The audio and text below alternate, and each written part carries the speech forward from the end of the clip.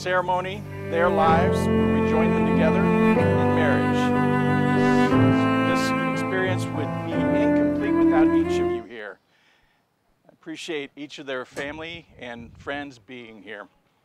You've shared and enriched in their lives, and it is appropriate on this important occasion, this holy event, that you're here to support them and to celebrate with them. Thank you for coming. There's another whose presence we acknowledge, and that is the Spirit of God. It is the love of God that inspires and models this love that James and Brittany desire to express in their marriage. Let's begin the ceremony by thanking God and by inviting Him to bless this marriage. Please bow your heads as I pray. Our Creator, inspire in each of us, witnessing the declaration of James and Brittany's covenant of love with one another today in their marriage. Give them joy for a love like yours, that marriage reflects an awareness of your presence in this ceremony and in our lives, a hope that is built on our growing trust of you that blesses here and now and throughout the rest of this young couple's lives and all of us connected here. We celebrate as you do the love of two people we all cherish, James and Brittany. Amen. Please be seated. James and Brittany, there are a few days in our lives that forever stand above the rest. You know, I'm sure that you remember your graduation and your birthdays and have a level of fondness for those. Perhaps the day you trusted the Lord of the universe, Jesus Christ. All those are very memorable and momentous in our lives. But today, the day of your marriage, is a blessed day that marks a new chapter. Your marriage represents a fundamental change that can strengthen the love you share and lead you from this point on from two paths into one, where you are no longer thinking and acting as separate individuals, praying and playing and giving and loving and serving, guided by choices for which you alone were responsible, to uh, one, one path that follows God, then this awesome and holy time and it will never be the same going forward. I encourage you to look around at this moment. Even though the sun will be in your eyes, try to capture the eyes of each people that are in this audience and that are standing with you today. Go ahead, take a peek. You, you stand before each of them, your family and friends, to pledge your lives to each other. And they've been important in your past, and they'll be important now, and they'll be important into the future. And now, if you would attend me, right? I have a few more words to share with you. I ask them to support you and hold you accountable for what you're doing today, for the promises that you're going to make to each other. And you're going to need their help. And you know, you have my help if you'd like it as well. You know that as a pastor, I've encouraged you to put God at the center of your marriage, and as God blesses your family, to walk with Him into the future. We've agreed that you will receive a biblical charge during the ceremony, and we have already prayed that God will bless you and your marriage. I want you to rely on God's strength to love and keep on loving, and you'll find an endless well bubbling up within you that will be like a never ending spring. There's a scripture chosen for your charge, and it's found in 1 Corinthians 13. And, congregation, I invite you to listen and renew your vows with one another, those of you who are married, and uh, rekindle that commitment to your spouse. Married couples, you can even reach over, hold each other's hands, and look deeply into each other's eyes. I know that's going to be hard for some of you, but it's a good practice. I'd like to uh, go ahead and read this charge to you, and I hope that as you go through it, it's not just love, but a choice that you're making for one another. Love is patient and kind. Love is not jealous or boastful or proud or rude. Love does not demand its own way. Love is not irritable, and it keeps no record of when it has been wronged. It is never glad about injustice, but rejoices whenever the truth wins out. Love never gives up, never loses faith, is always hopeful, and endures through every circumstance. Love will last forever. James and Brittany, here's your charge. I charge you to ask often for God's help, to give selflessly to each other. I charge you to find joy in serving each other and mercy to forgive as often as it takes. I charge you to value the good of the relationship above personal satisfaction.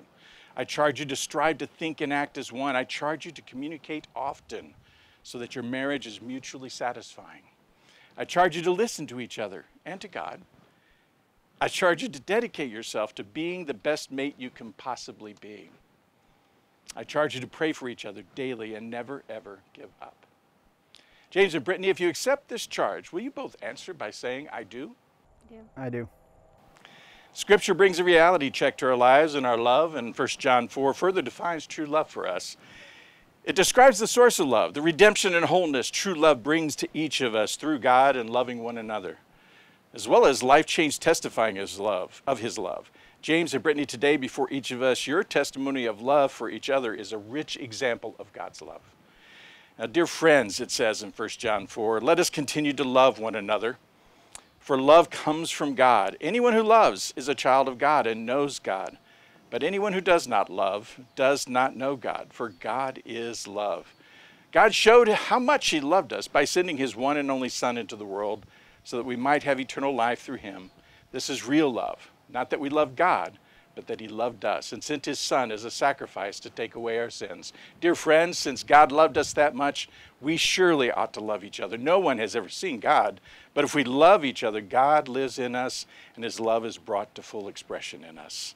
James and Brittany, will you please face each other and join hands for the wedding vows?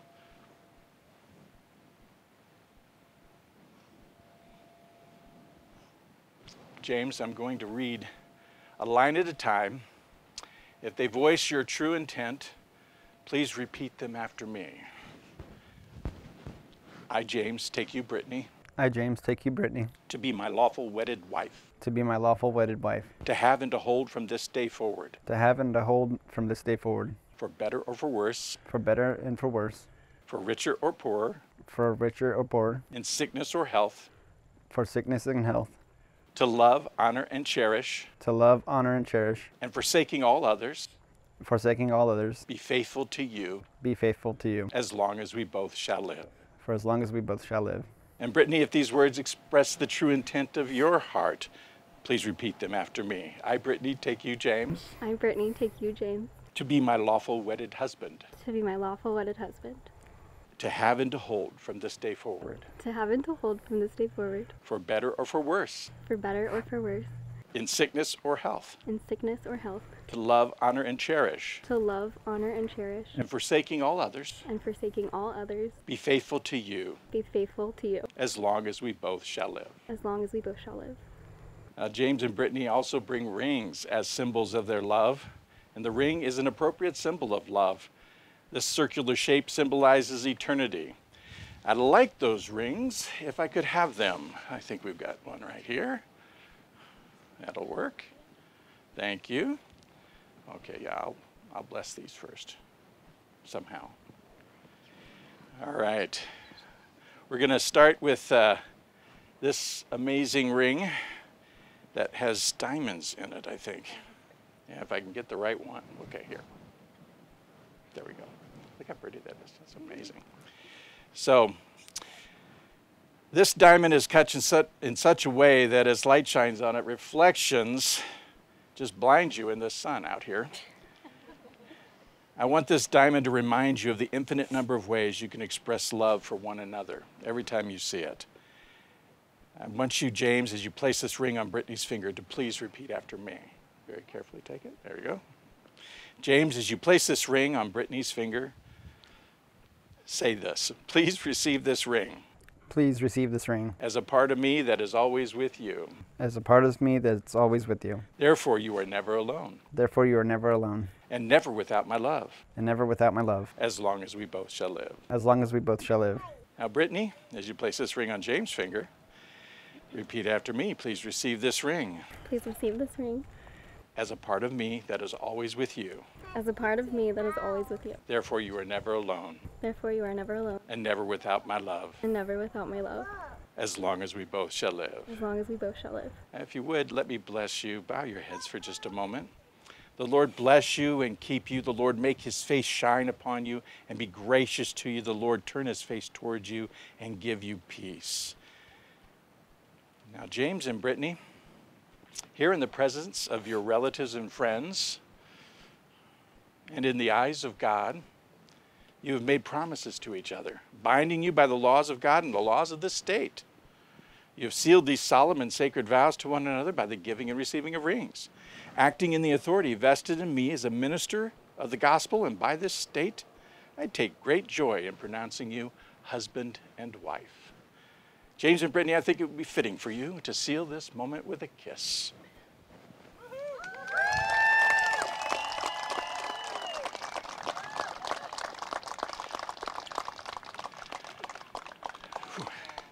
That was brighter than the sun. Ladies and gentlemen, I present to you Brittany and James Clayborn.